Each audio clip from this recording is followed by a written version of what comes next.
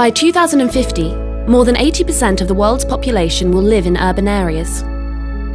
Challenges related to heavy urbanization include poor air quality, warmer temperatures, and higher flood risks, thus endangering us and the planet. Is this the only future possible for our cities? The EU funded project URBAN GreenUP will provide a sustainable model for urban development using nature based solutions. By creating more green areas and infrastructures and carrying out water interventions, cities become more livable and more resilient to climate change.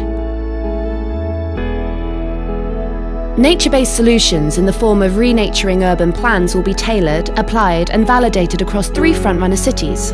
Along with five follower cities, the URBAN GreenUP model will have the potential to be replicated all over the world. Whether you are a citizen, a public official or an entrepreneur, you can play a key role in bringing back nature into your city. You do not only improve your city's living conditions, but also boost your local economy. Want to join us?